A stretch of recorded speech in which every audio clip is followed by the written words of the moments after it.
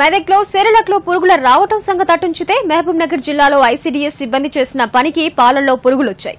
మహబూబ్ నగర్ జిల్లా జడ్చర్లలోని ఐసీడీఎస్ కార్యాలయంలో గర్భిణులు చిన్నారులకు సరఫరా చేయాల్సిన విజయ పాలను రోజుల తరబడి నిల్వ ఉంచారు. దీంతో పాల ప్యాకెట్లకు పురుగులు పట్టాయి.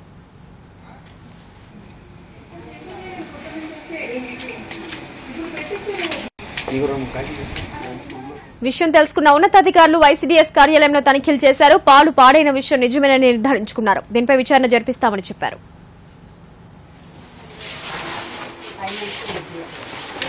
మరోవైపు అధికారుల నిర్లక్ష్యంపై బీజేవైఎం కార్యకర్తలు ఆగ్రహం వ్యక్తం చేశారు. ఐసీడీఎస్ కార్యాలయం ముందు ధర్నా చేపట్టారు. వెంటనే నిర్లక్ష్యంగా వ్యవహరించిన అధికారులపై చర్యలు తీసుకోవాలని డిమాండ్ చేశారు. ఏపీ డైరీ వాళ్ళని కూడా పిలిపిస్తున్నాయి వాళ్ళని కూడా పిలిపిస్తున్నాయి ఏపీ డైరీ వాళ్ళని.